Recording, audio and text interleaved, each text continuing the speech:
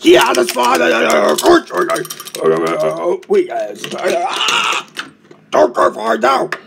Yeah, the character catchment. Go go go.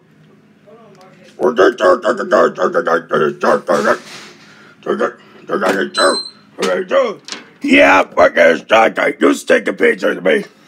A curry votes. Watch your curry do. What did you tell me to get talking about? You stick a pictures! Boy, can we sure relate to that. We know what it's like being different.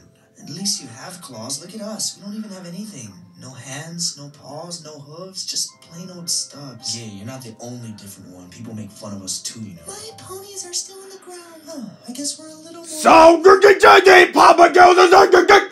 Is there everyone in the